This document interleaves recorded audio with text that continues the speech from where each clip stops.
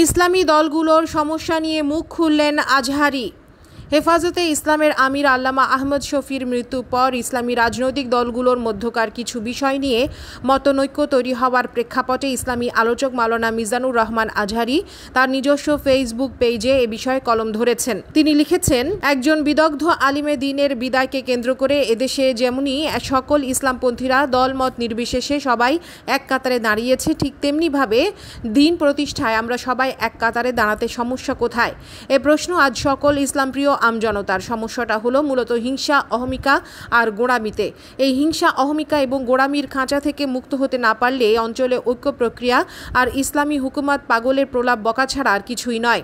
সবাই ঐক্য চায় কিন্তু এক চুল পরিমাণ ছাড় দিতে নারাজ। সবার স্বপ্ন ইসলামকে বিজয়ী শক্তি হিসেবে দেখার কিন্তু একই স্বপ্নে বিভোর লোকদের মধ্যে নোংরা, কাদা ছোড়াছড়ি।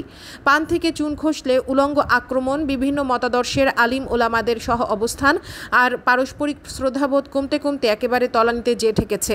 ইমাম ইবনুল জাউজি রাহিমাহুল্লার ওনার তাবলিসে ইবলিশ গ্রন্থে শয়তানের ব্যবসা প্রসঙ্গে লিখেছেন যে, শয়তান জুলুম বিক্রি করে শাসকদের কাছে, কৃপণতা বিক্রি করে ধনীদের কাছে, আর হিংসা বিক্রি করে আলিমদের কাছে। একথার চরম বাস্তবতা আমরা প্রকটভাবে দেখতে পাচ্ছি। আমাদের প্রিয় মাতৃভূমি আলিম সমাজের অনেকের মধ্যে। হিংসা আর অহংকারের বিষ বাষ্পে আজ ধীরে ধীরে কলুষিত হয়ে যাচ্ছে আমাদের ধর্মীয় আঙ্গিনাগুলো, যারা শত শত বিষয়ে মিল থাকার পরেও সামান্য কিছু অমিলের কারণে একজন মুসলিম ভাইকে অমুসলিমের সম্মানও দেয় না, তারাই এদেশের ইসলামের মুখপাত্র দাবিদার। মনে রাখা দরকার, ভিন্ন মতাবলম্বীদের অছুত মনে করা মুহাম্মদ সাল্লাহ সাল্লামের ওয়ারাসাদের স্বভাব হতে পারে না। আর আল্লাহর পাঠানো দিন ইসলামও আমাদেরকে এই সংকীর্ণতা শিক্ষা দেয়নি। ইসলাম যেখানে ভিন্ন ধর্মাবলম্বীদেরকেও সম্মান করতে শেখায়, সেখানে আমরা নিজেরা নিজেদেরকে সহ্য করতে পারছি না। আসলে এ জাতীয় লোকদের মুখে ঐক্যের কথা খুবই বেমানান। বাস্তবতা হচ্ছে, উম্মার ঐক্য নিয়ে মঞ্চ কাঁপানো, জ্বালাময়ী ভাষণ দেয়া সহজ, কিন্তু পুরা উম্মাহকে আপন করে নেয়া ও আগলে রাখা খুব কঠিন। উদারতা আর ভালোবাসার সীসা, ঢালা, নিখাদ মানসিকতা ছাড়া উম্মার ঐক্য প্রতিষ্ঠা কোনোভাবেই সম্ভব নয়। আসলে হৃদয়ের প্রশস্ততা এটা রবের দেয়া এক বিরাট নিয়ামত। সবাইকে আল্লাহ তালা এই নিয়ামতে ধন্য করেন না। প্রশস্ততা, উদারতা এবং ভালোবাসার নিয়ামত লাভে যারা ধন্য, তারা আসলেই মহা সৌভাগ্যবান। অন্যদিকে ইরাকে মার্কিন যুক্তরাষ্ট্রের স্বার্থে আঘাত হানা যাবে না। সাম্প্রতিক এমনটি আদেশ জারি করলেন তথাকথিত আমেরিকা বিরোধী দেশ ইরানের supreme leader Ayatollah Ali Khamenei. এ সংবাদ জানিয়েছে মিডল ইস্ট আই। সাম্প্রতিক ইরাকে মার্কিন যুক্তরাষ্ট্রের স্বার্থে আঘাত সত্তর বন্ধ করার আদেশ জারি করেছেন ইরানের supreme leader Ayatollah Khamenei. Iraq থেকে সাংবাদিকতা সুয়াদাদ আল সালহি ইরাকে শিয়া সন্ত্রাসী কমান্ডার ও রাজনীতিবিদদের বরাত দিয়ে এই সংবাদ জানিয়েছেন। ইরান সমর্থিত শিয়া মিলিশিয়ার জনৈক কমান্ডার মিডল ইস্ট আইকে বলেন, খামিনির কথা ছিল সোজা সাপটা ও পরিষ্কার। ইরাকে আমেরিকার স্বার্থ লক্ষ্য করে সকল হামলা অবশ্যই বন্ধ করতে হবে। হঠাৎ ইরানের খামিনির এই আদেশ আমেরিকার বিরুদ্ধে ইরানের অবস্থা নিয়ে ধোঁয়াশা সৃষ্টি করেছে। ইতিপূর্বে ইরাকে সাদ্দাম হোসেনের পতনের পর সুন্নি মুসলমানদের বিরুদ্ধে ইরান ও আমেরিকা যৌথভাবে কাজ করে। শুধু তাই নয়, ইরাকে ইরানের প্রভাব বিস্তারে ও দীর্ঘদিন ধরে ইরাকে গণহত্যা ও শোষণের পেছনে মার্কিন যুক্তরাষ্ট্র দায়ী। মধ্যপ্রাচ্য বিশারদগণ ইরাকে ইরানের প্রভাব বিস্তারে আমেরিকাকে দায়ী করেছেন। ওই আমেরিকা ইরানকে ইরাকে নিয়ে এসেছে বলে তারা দাবি করেছেন। ইরানের এ ধরনের সিদ্ধান্ত আমেরিকার বিষয়ে এসব দাবিকে প্রমাণিত করে। উল্লেখ্য কাশেম সুলাইমানির হত্যার পর থেকে ইরাকি শিয়া মিলিশিয়ারা আমেরিকার বিরুদ্ধে হামলা চালায়, যদিও একসময় কাশেম সুলাইমানি আমেরিকার সহযোগী হিসেবে ছিলেন, অথচ সুলেমানির নিজের দেশ আমেরিকার পক্ষে ফতোয়া জারি করায় আশ্চর্যান্বিত অনেকেই। অন্যদিকে, আজারবাইজানের সেনাবাহিনী আরও একটি আর্মেনীয় মর্টার ফায়ারিং পয়েন্ট ধ্বংস করেছে বলে জানিয়েছে আজেরই প্রতিরক্ষা মন্ত্রণালয়। দেশটি প্রতিরক্ষা মন্ত্রণালয় এক বিবৃতিতে জানায়, আর্মেনিয়ার দখলকৃত তাতার এলাকার গোয়ার্ক গ্রামের মর্টার ফায়ারিং পয়েন্ট আজারবাইজানের বাহিনী সফলভাবে ধ্বংস করে। মন্ত্রণালয়ে এর একটি ভিডিও ফুটেজ প্রকাশ করে। সাতাশ সেপ্টেম্বর থেকে নাগার্নো কারাবাখ নিয়ে আজারবাইজান ও আর্মেনিয়ার মধ্যে সংঘাত চলে আসছে। নাগার্নো কারাবাখ অঞ্চলটি আন্তর্জাতিকভাবে আজারবাইজানে ভূখণ্ড বলে স্বীকৃত, কিন্তু আর্মেনিয়া সমর্থিত সন্ত্রাসীরা কয়েক দশক ধরে অঞ্চলটি দখল করে রেখেছে।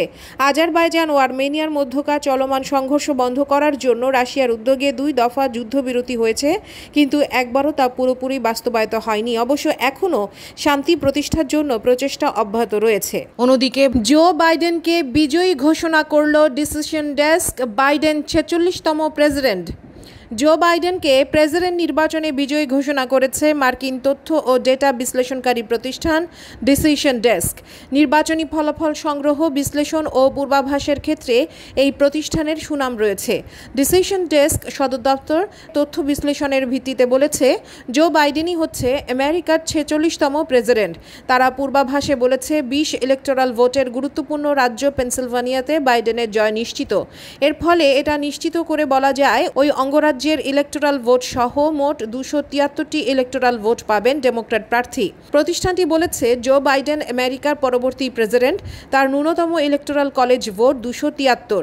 তাদের বিশ্লেষণ অনুযায়ী বর্তমানে দুশো তিপ্পান্নটি ইলেকটোরাল ভোট পেয়েছেন বাইডেন এর সঙ্গে নিশ্চিতভাবে যুক্ত হয়েছে পেনসিলভানিয়ার বিশটি ইলেকটোরাল কলেজ জর্জিয়ার মতো পেনসিলভানিয়াতেও বাইডেন ট্রাম্পকে টপকে যাওয়ার পর এ ঘোষণা দিল ডিসিশন ডেস্ক হেডকোয়ার্টার্স পেনসিলভানিয়ার পাশাপাশি আরও চারটি গুরুত্বপূর্ণ অঙ্গরাজ্যে এখনও ভোট গণনা চলছে। এর মধ্যে নর্থ ক্যারোলাইনায় পনেরোটি, অ্যারিজোনায় এগারোটি এবং নেভাডায় ছয়টি ইলেকটোরাল কলেজ ভোট রয়েছে।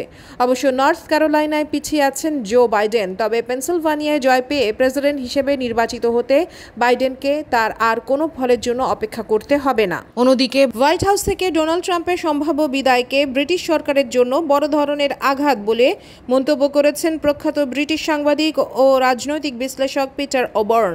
Middle East Eye জানিয়েছে, পিটার ওবর্ন এক নিবন্ধে লিখেছেন, ব্রিটিশ প্রধানমন্ত্রী বরিস জনসনের সঙ্গে প্রচলিত রীতি ও পন্থার বিরুদ্ধে হাঁটার ক্ষেত্রে মার্কিন প্রেসিডেন্ট ডোনাল্ড ট্রাম্পের মিল রয়েছে।